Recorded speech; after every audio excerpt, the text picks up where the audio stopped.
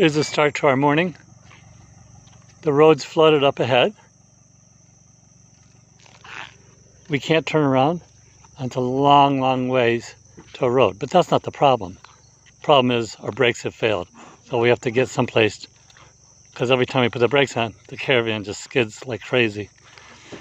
Fun start to a day. Okay, see you later.